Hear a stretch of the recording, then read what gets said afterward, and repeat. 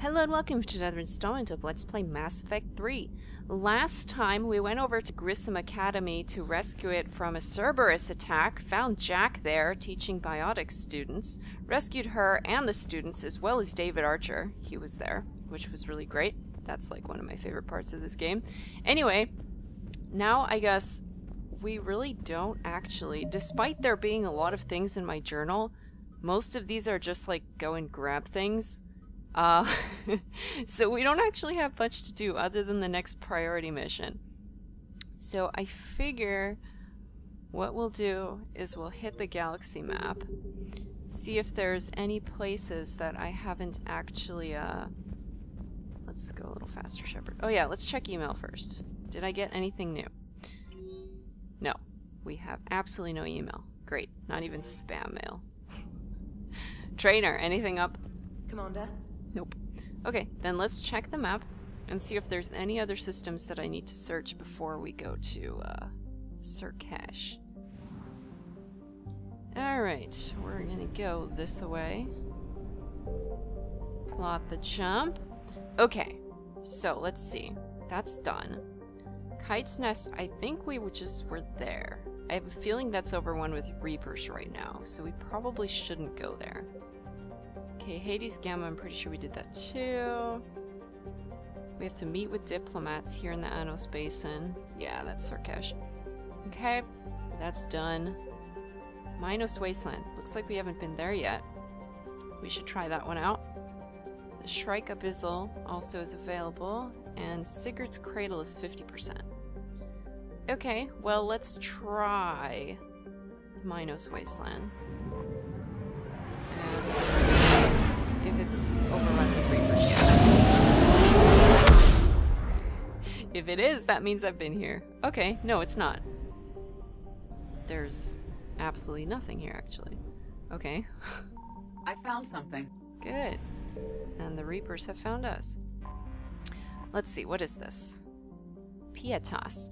Though Pietas has a combination of features that make terraforming a possibility, the rights to the planet have been tied up in Citadel Council courts for the past nine years. The running joke is that by the time the Council finally gives the go ahead to colonize the planet, Pietas will have evolved life of its own.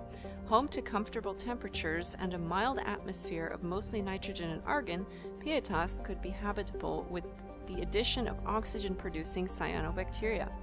Its crust is high in silicates and carbon, allowing for easy fabrication of construction materials. Smugglers, pirates, and others other unregistered starships sometimes touch down on Pietas to lay low or make repairs. Civilian travel is not advised. Is every single freaking planet in this galaxy overrun by pirates? How many pirates can there be? Like, don't they eventually run out of civilian frigates? Do they just pirate each other? Orbital distance 1.8 AU. Orbital period 2.4 Earth years. Radius 5,430 kilometers. Day length 26.5 Earth hours. Atmosphere pressure 1.26 Earth atmospheres. Surface temperature 21 Celsius and surface gravity 0.7 G. Alright. Before I start the scanner on that, let's read the rest of these. Okay, we've got Veer or Weir.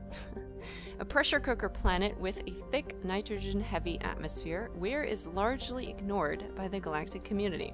Probes have revealed a crust of nickel and scorched carbon, both of which can be found in abundance elsewhere at far lesser temperatures. Orbital distance 0.6 AU, orbital period 0.5 Earth years, radius 8,162 kilometers, day length 44.4 Earth hours, atmosphere pressure 1 point or one point, yeah. no. 106.22 or Earth atmospheres. That's a big difference. Surface temperature 778 Celsius and surface gravity 2.1 G. Alright, that does not sound like a very happy planet to be on. Aequitas. Alright, home to the famous Iron Canyons, Aequitas has reddish iron oxide dust, hermatite, hematite, sorry, uh, covering much of its surface, and significant blue cobalt deposits that freckle the terrain.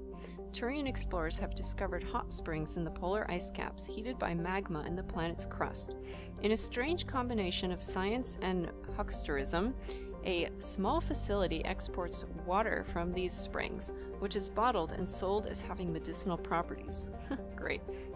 The funds are then used to maintain a research station, which has discovered some fossil evidence that Aequitas once harbored microscopic life based on deoxyribonucleic acids in these springs. Okay. so they use snake oil to fund research. Interesting. Orbital distance. Well, I guess it's better than funding gambling or something. Orbital distance 4 AU. Orbital period 8 Earth years. Radius 7,437 kilometers. Day length 51.6 Earth hours. Atmospheric, atmospheric pressure 0.49 Earth atmosphere. Surface temperature negative 85 Celsius. And surface gravity 1.6 G. Alright, search this planet. Let's run this scanner. Start scanner. What are we looking for? Something over here. Oh, it moves so slow. Uh, it's so hard. Okay. Okay, we got credits. Great. Alright. Is that all in the system? No, there's one other thing. Alright, well, let's try hitting over here. One more. There it is. Plot mass relay jump. We gotta get away. Okay, the Ismar frontier. We've been there, right? I don't remember. Let's go again, just in case. It doesn't appear to have any numbers on it. Hey, a fuel depot. Do I need any fuel? Nope. Signal confirmed. Okay. Aquila. Have we been here? Polino.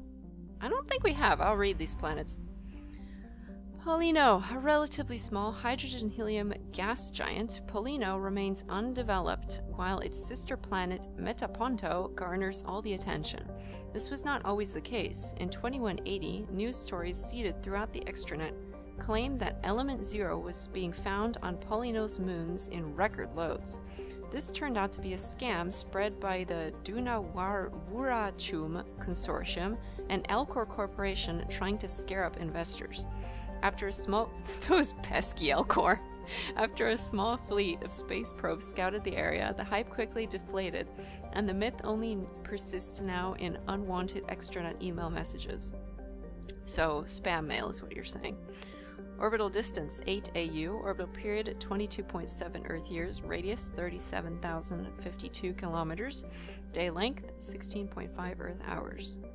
Alrighty, next one. Let's try Aquila. Oh no, wait. This is Metaponto. Where was Aquila? I did see something called Aquila. a hydrogen helium gas giant, Metaponto has developed a helium 3 fueling station funded by Elcor business interests who hope to bring enough attention to the system to attract terraforming investors and thus eventually de develop Volturno as a habitable world. Thus far, they have met with little success. Orbital distance 4.2 AU, orbital period 8.6 Earth years, radius 70,520 kilometers, day length 12.1 Earth hours. Alright, might as well recover whatever is here, as long as we're here.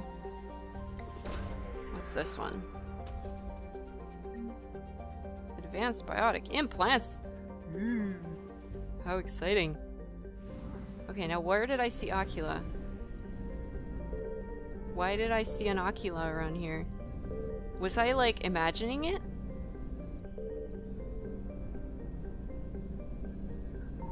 I'm so confused.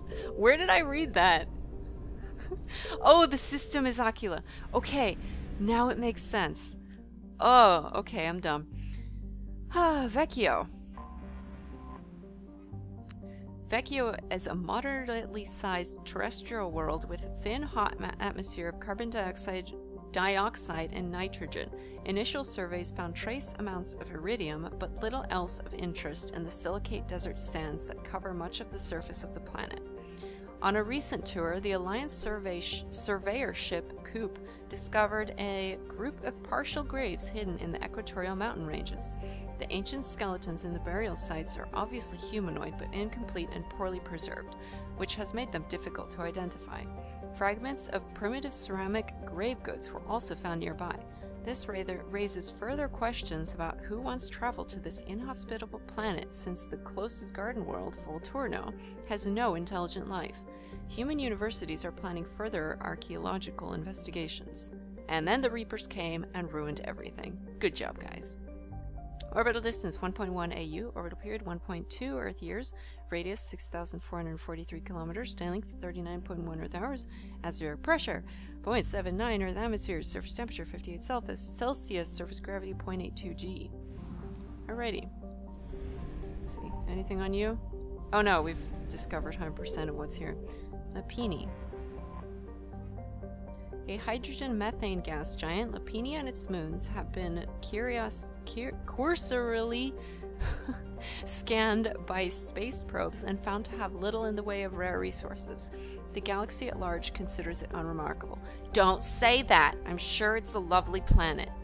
Orbital distance 0.5 AU, orbital period 0.4 Earth years, radius. Ooh, see, it is an awesome planet. Look at that number. That's so cool. Radius 56,666 kilometers. Yeah, that's a lot of sixes. Day length 9.2 Earth hours. See? Every planet is special in its own way. Volturno. Yeah, I've been hearing a lot about you, Volturno. A so called super Earth, Volturno is home to organic life, but is nevertheless uninhabitable for the near future. Wait, what does that mean? Uninhabitable for humans? Because apparently it's not for other things. Currently in an ice age, most of the planet from the latitude of 30 degrees north or south is a frozen wasteland, and so most organic life, limited to algae and lichens, reside near the equator. The strong gravity prevents any sapient species but Elcor from thriving on the planet, and the Elcor cannot breathe the planet's atmosphere, which contains lethal amounts of carbon dioxide in addition to its oxygen. Small packs of Vorcha squatters are attempting to take the planet for themselves. Why is this not scrolling? There we go. Illegally. But most of them live miserable existences in the planet's crushing gravity and die from falls and medical complications. that sounds awful. Only terraforming on a massive scale would turn Volturno into a habitable world, and the Elcor lack the political capital with the Citadel Council to begin such an effort. Orbital distance 2.1 AU, orbital period 3 Earth years, radius 11,177 kilometers, day length 26.8 Earth hours, atmosphere pressure 0.83 Earth atmosphere, surface temperature negative 10 Celsius, and surface gravity 3.3 G. Okay, is that it for this system? Are there just. There's one, two. Looks like. Did I miss something? Oh no, there was this one way out here. Okay. So we did. We've seen all of them. On to the next location. Where are we going? We're going to the Shrike Abyssal. hopefully... Be loud. Thank you. Where hopefully we will not be eaten by Reapers. Oh, we've got more than one thing. Urla Rest. Rast, sorry. Okay, let's go there. For, why does this keep beeping? Is there a thing right something. here? Yeah. Investigate. Wreckage. Ah, I don't need that right now. Okay, Reapers, calm down. Chill. Okay, but that's 50% of the assets in this system. Okay, let's go over to Urla Rast. It seems like there's only two things in this system as well, because it says we've recovered 25% from the entire one.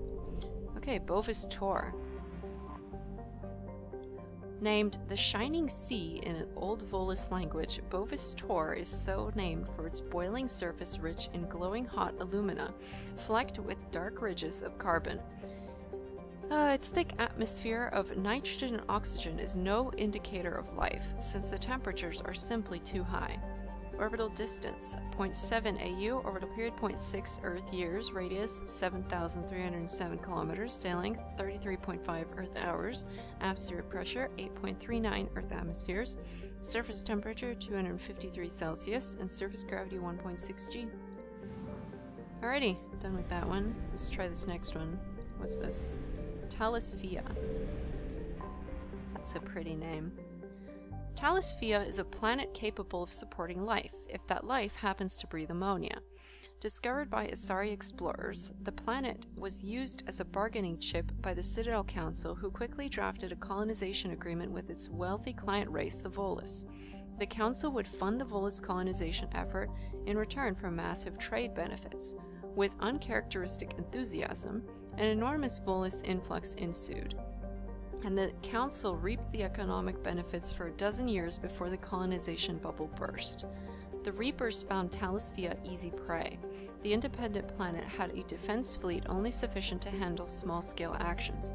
Its high population and industrial base, once a deterrent to war with other Terminus system worlds, only served to attract a, large, a larger number of Reapers than usual.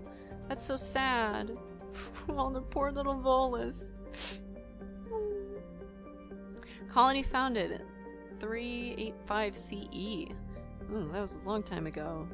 Population 3.8 billion. Population estimates are pre-invasion. Capital Usra Dao. Orbital distance 1.6 AU. Orbital period 2. Point, or 2.0 Earth years. Radius 7,550 kilometers. Day length 33.8 Earth hours. atmosphere pressure 6.15 Earth atmosphere. Surface temperature negative 25 Celsius. Surface gravity 1.7 G.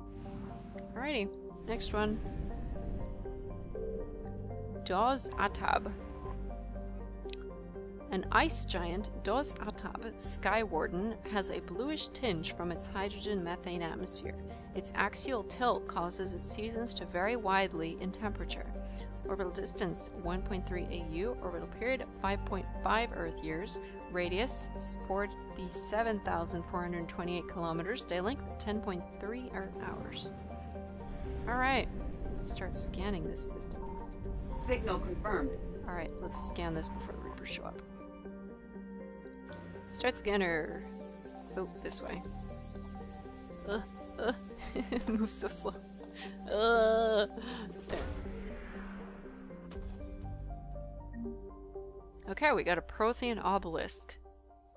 Lovely. Okay, Reaper's mad yet? They're getting there. Okay, then we're gonna zip around.